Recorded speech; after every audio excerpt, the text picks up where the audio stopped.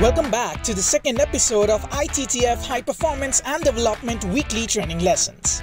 Also this time we have prepared for you some special weapons and tactics. Today's topic is a player's chess move, an action which can predict the opponent's move. Table tennis is often compared to chess, but with high speed.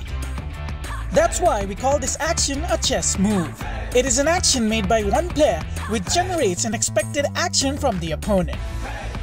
Top players are able to prepare for several options, then choose and play the one that will give them the best chance at winning the point. Let's see how some top players use a chess move.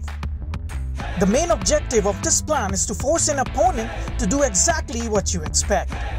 A topspin opening, a backhand flick, a backhand push, and many more. We will see how effective this can be.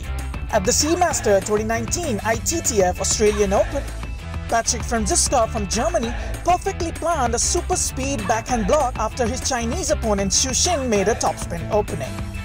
Xu Xin opened confidently, but Franziska was expecting that by preparing an effective and winning backhand speed block. Let's go into details.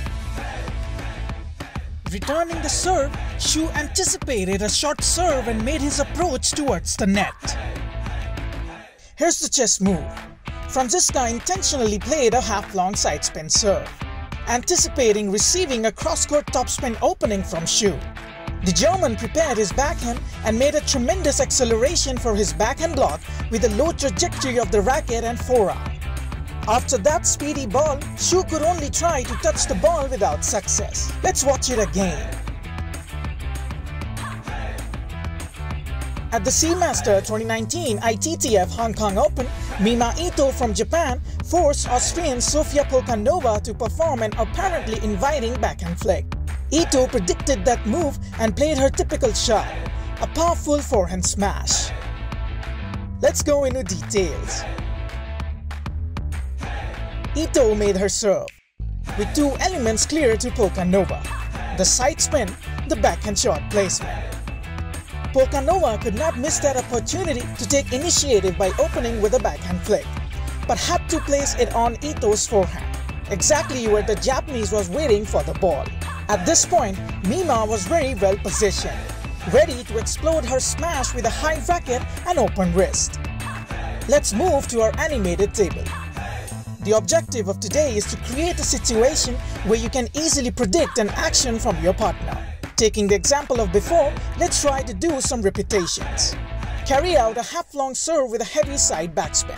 Request your partner to make an opening topspin and prepare a speed backhand block cross-court or even down the line. Serve short with side topspin on forehand or backhand and ask your partner to flick to the forehand.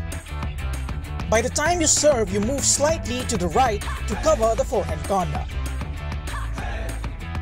Serve short with a heavy side backspin on a wide backhand and ask your partner to push. As your partner returns, move to the left with a pivot action and prepare a finishing speed forehand. We hope you have enjoyed today's SWAT and see you soon for the next ITTF High Performance and Development Weekly Training Lessons.